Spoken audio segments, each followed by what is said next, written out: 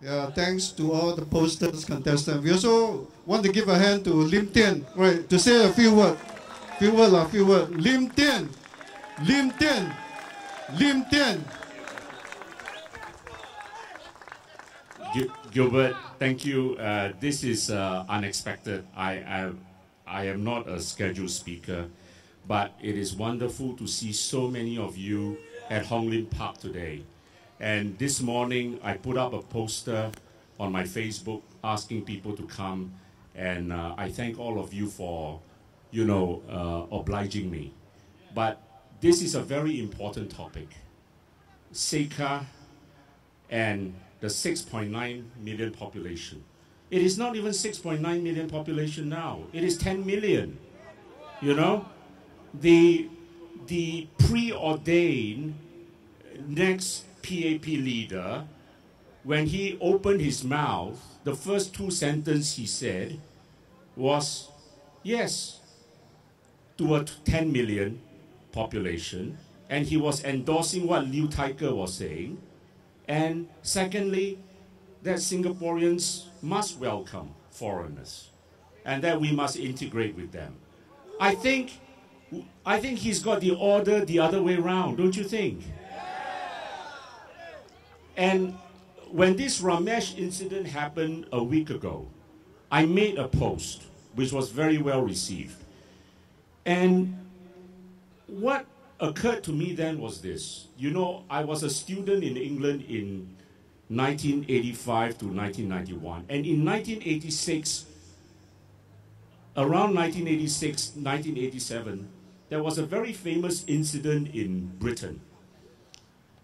This city, just outside of Manchester, called Bradford, it has got a huge Asian community mainly from the Indian subcontinent.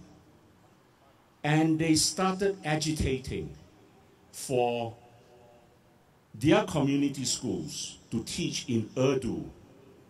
And they started agitating for subjects to be taught in the schools which they say, which they said would respect their cultural identity.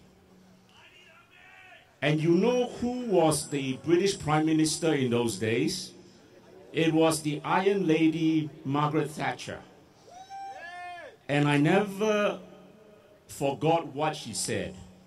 She got up and she told these people, You have chosen on your own free will to come into this country to live.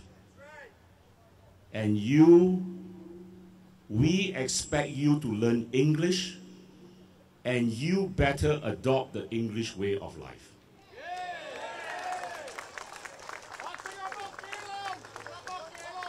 And I think it is not unreasonable when we expect foreigners who come to live and settle and work in our country to respect our ways of life and to adopt our way of life. And it is not the other way around. All right, so I tell the PAP it's not the other way around. All right? You better start respecting Singapore citizens first before you tell us to respect others.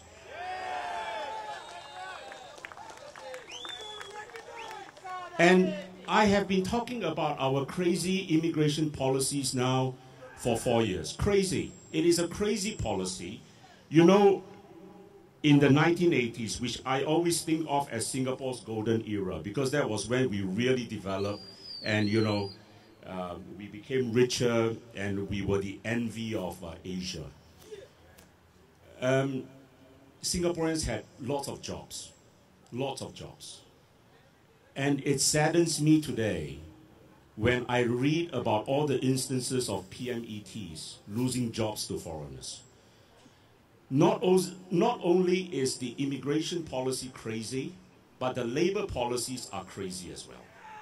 All right, the labor policies are crazy. And the worst thing is, the PAP have a thing called the Fair Consideration Framework for Employment. But do you know, do you know that CECA is not even subject to the Fair Consideration Framework? All right, I have said enough. Supposed to be only a few words, but thank you very much. Then let's wave the flag together. Lim Tean, come. Say no. To CECA. Say no. To 6.9. Say no. To PAP. Yeah, thank you, Mr. Lim. Thank you, thank you so much. Thank you so much, right, Mr. Lim. Right, support this party, huh? uh, People's Voice.